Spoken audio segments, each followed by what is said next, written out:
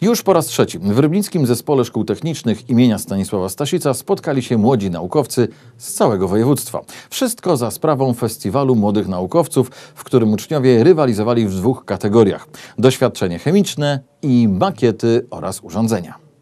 Czujniki, kable, układy, scalone instalacje chemiczne. Tak dziś wyglądała sala gimnastyczna w Rybnickim Zespole Szkół Technicznych. Zjechali tu bowiem młodzi wynalazcy z praktycznie całego Śląska. To jest połączenie teorii z praktyką, bym powiedziała.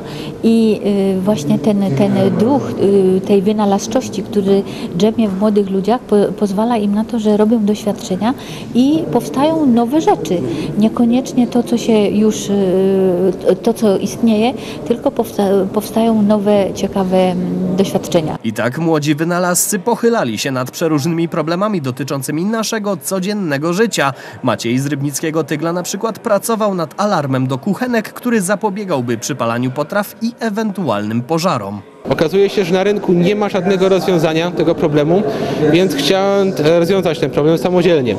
E, Jak się okazuje, to nie jest aż tak proste. Jak się wchodzi w szczegóły, to mamy przede wszystkim problem, co użytkownik chce gotować. Inaczej jest, kiedy gotujemy rano jajka na miękko, inaczej, kiedy gotujemy zupę na obiad. Więc e, przyjąłem najbardziej prostą możliwość harmonogram, że rano krótkie czasy alarmu, po południu większe. Irytuje to, jak użytkownik siedzi w tej kuchni cały czas, ale jak ktoś jest jak moja babcia, to ratuje życie. Drugą kategorią były doświadczenia, przede wszystkim chemiczne. Tu młodzież mogła wykazać się swoją znajomością przeróżnych zjawisk fizykochemicznych. Dzisiaj przede wszystkim skupiłyśmy się na, pi- na napięciu powierzchniowym cieczy, przede wszystkim wody. Tak, chciałyśmy przedstawić jednak coś prostego, ale jednak zaskakującego, o czym no, większość nie wie takich rzeczy, a jednak Jest to zwykły składnik, takim jakim jest woda, a jednak może zaskoczyć. A laureatami tegorocznej edycji zostali Robert Krzysztof i Jakub Banet z Rybnika za instalację High Voltage oraz Szymon Bogdani z Katowickiego Liceum Ogólnokształcącego imienia Melchiora Wankowicza za wyjątkowy termosteg.